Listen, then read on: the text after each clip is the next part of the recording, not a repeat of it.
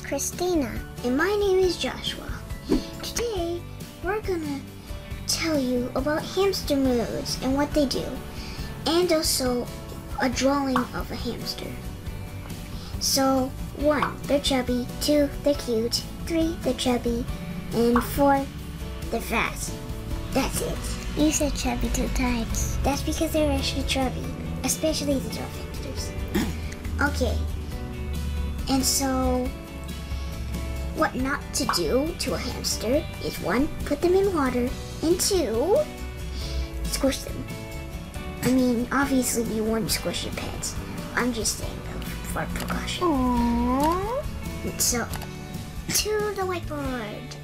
Yay! So, hamster.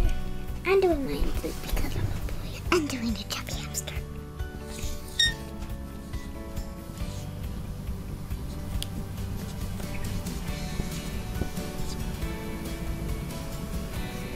It's a hamster that too had too much coffee. It's a hamster that's really poorly. Oh, and he still has some in his mouth.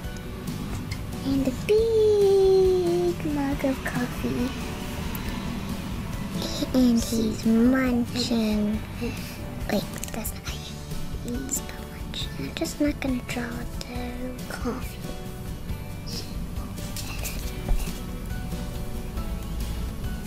That's an E. And I get to draw all the seeds that he has. Oh, and a big heart in the middle. Done. Done. Boom. Shakalaka. That's all for today. Goodbye.